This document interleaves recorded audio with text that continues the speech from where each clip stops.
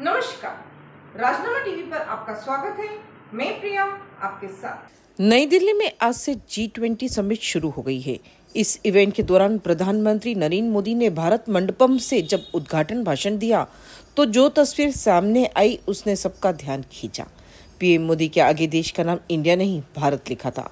ये पहला मौका है जब किसी इंटरनेशनल इवेंट में प्रधानमंत्री की सीट के सामने देश का नाम इंडिया नहीं लिखा गया है। पिछली जी ट्वेंटी बैठक इंडोनेशिया के बाली में 14 से 16 नवंबर को हुई थी, तब पीएम मोदी के आगे देश का नाम इंडिया ही लिखा था। इस मौके पर स्मृति ईरानी ने पीएम की तस्वीर शेयर करके कहा, उम्मीद और विश्वास का नाम भारत है। इसी के साथ बने रहिए राजनामा टीवी के साथ। धन्यवाद।